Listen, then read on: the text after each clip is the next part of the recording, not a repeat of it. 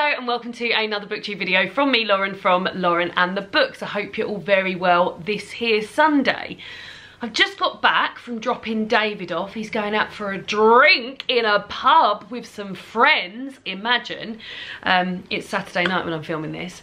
And I got home and I was like, oh yeah, I'll just put a bit of makeup on and do something else with my hair and maybe put a different top on. And I was like, fuck it. I've got really bad period pain. I've got jaw pain for literally like the third day in a row. I don't know why, but jaw pain. Um, and new thing to period pain, I've got a headache, which I never used to get with period pain. So welcome to this guy. Um, and yeah, but I thought, fuck it, let's just do it. Normalise sometimes being on your period and feeling like shit when you're making videos. But hey, my mood's still up, so don't worry. And I'm quite looking forward to, this is Saturday now, so it might be completely rubbish, but in the UK, they've got a new programme tonight it's called The Masked Dancer, which if you've seen The Masked Singer, they've got a dancer version of it starting tonight with Oti Mabuse, one of my favourite Strictly dancers, on the judging panel. And I imagine there'll probably be, and my glass is filthy, there'll probably be some actual Strictly dancers. I don't know how they're going to do it because like, I'm not going to see someone dancing and think, oh yeah, I recognise that dancing. I imagine they're going to rely heavily on the clues. Anyway, we're one and a half minutes in and I've not shown you one book yet.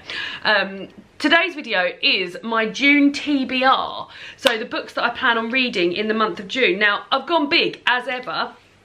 Two, four, six, 8, 10, 12, 14, 16 books. That's not including the books that I'll probably get on my e-reader and the books that I'll probably do um, audio books of. So 16 books, pretty big. I've got a mixture of library books, book I want to read for book club, blah, blah, blah. But the main plan of June, this little guy, um, was that I wanted to read the books that you wonderful people have sent me from my wish list um, and I've got two, four, six, eight of them here.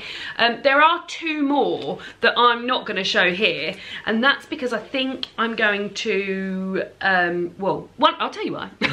one of them is a witchy book, um, which is, I think I'm going to read around October. And the other one is Plain Bad Heroines, which I really, really, really want to read, but coming up in Patreon Book Club, we're doing a month where we're going to pick a book which is over 500 pages.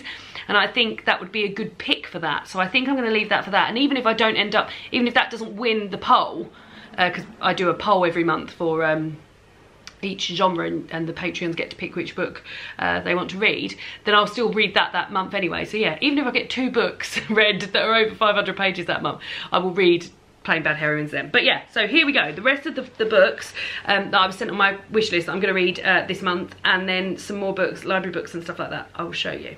Right, so the first book is 84 Charing Cross Road by Helen Hanff.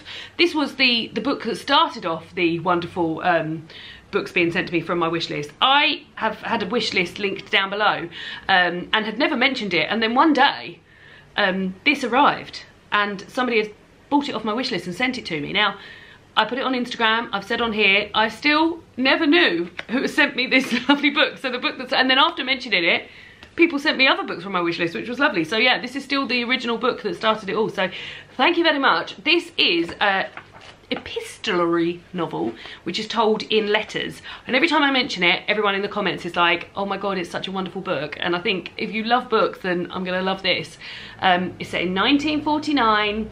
Um, oh, Oh, it's a memoir. I thought it was a novel. New. So this is Helen Hanff's memoir from 1949. Um, she wrote to a bookstore called Marks & Co. Um, in search of the rare edition she was unable to find in New York. Her books were dispatched with polite but brisk efficiency.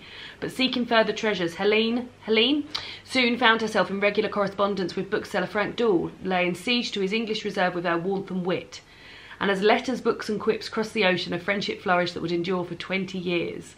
So yeah, and then there's a sequel to this as well, and this has been made into a film, so I'm really looking forward to this. Sounds super cozy and lovely. Uh, then I've got That Reminds Me by Derek Owusu, which was the winner of the Desmond Elliott Prize in 2020. Um, and this is the story of Kay, and Kay is sent into the care system uh, before he is one um, and he grows up in fields and woods and he's happy. When he's 11, the city reclaims him. He returns to an unknown mother and a part-time father, trading the fields and for flats and a community that is alien to him. Slowly he finds friends, eventually he finds love. He learns how to navigate the city. But as he grows, he begins to realise that he needs more than the city can provide. He is a man made of pieces, pieces that are slowly broken apart.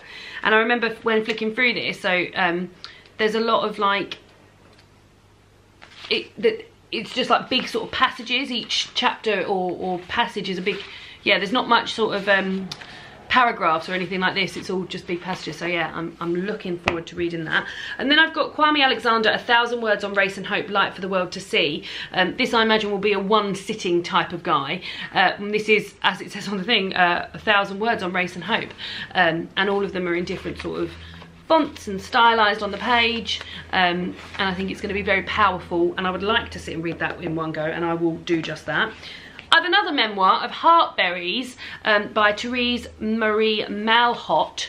Um, both of these like th thin little guys.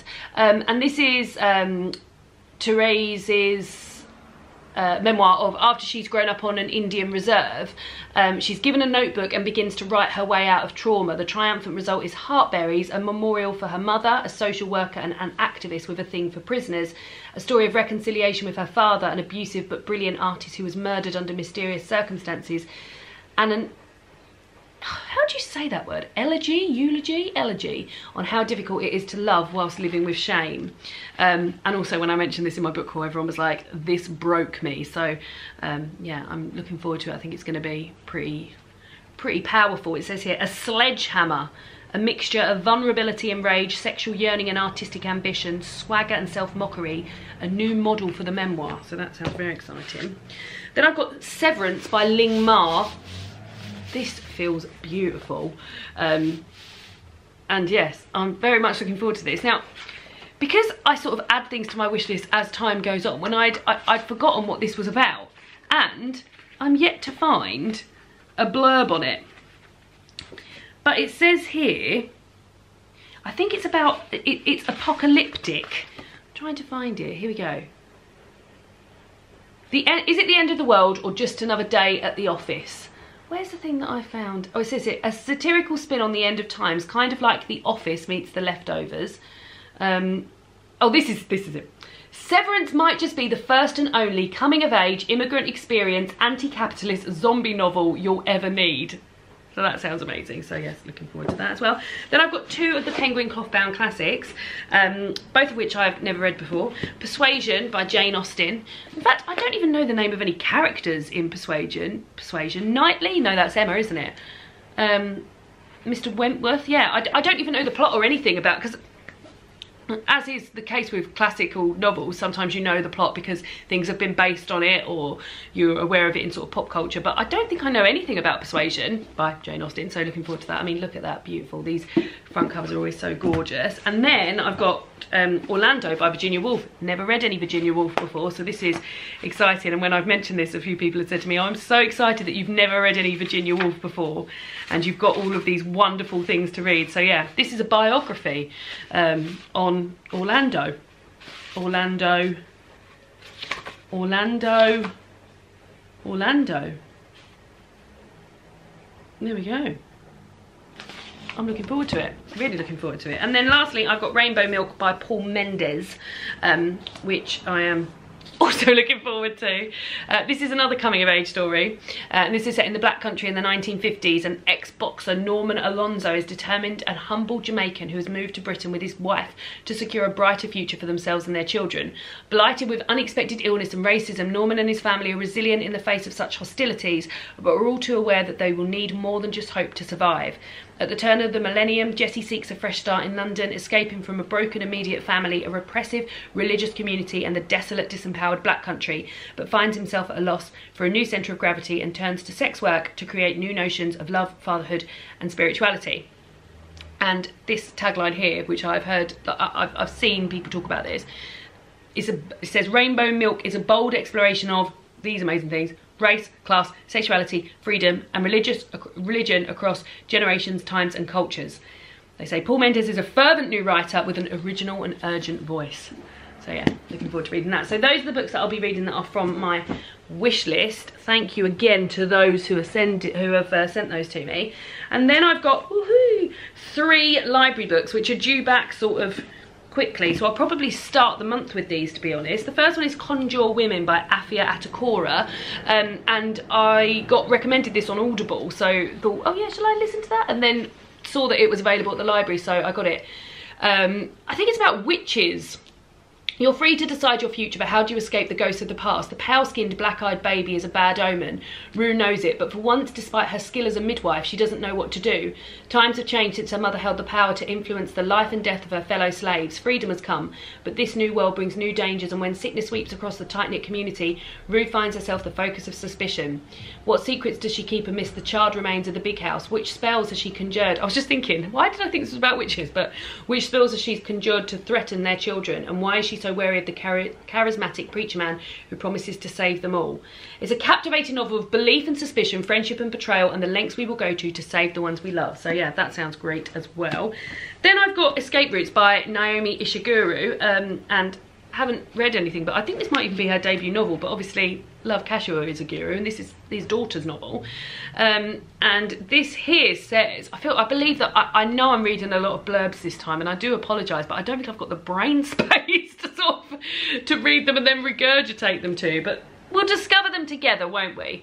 A space-obsessed child conjures a vortex in an airing cupboard. A flock of birds offers a musician a startling new perspective on her city. A rat catcher summoned to a royal palace is plunged into a battle for the throne of a ruined kingdom. Two newlyweds find themselves inhabited, in, inhibited, sorry, by an outsized watchful stuffed bear. Oh, it's stories.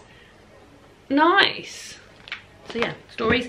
And then I've got The Dark Lady by Akala, which is a teen book. Now, you will know that I read um, Natives by Akala earlier this year, um, which was a uh, non-fiction book um, about race and the UK and etc.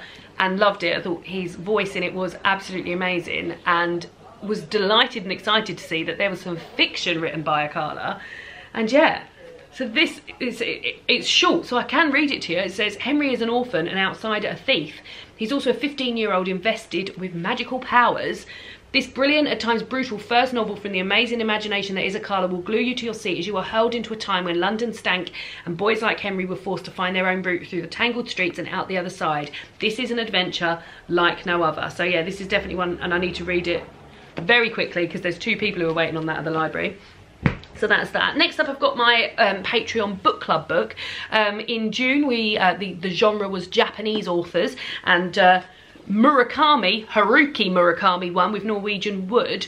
Um, and this is a book that I've owned for a really long time. I've read a few Murakamis. I know um, Murakami is very beloved to people and I've read a few and always felt sort of like, oh yeah, that was that was okay. And obviously, I think with Murakami books, there's often a, a sort of theme that runs through. It. I remember having this discussion with Mercedes and saying like, there's always a guy who really likes jazz and he's good at cooking and he's got a cat and things like that. So let's see if those themes also appear in here. This is one of his earlier works, I'm sure.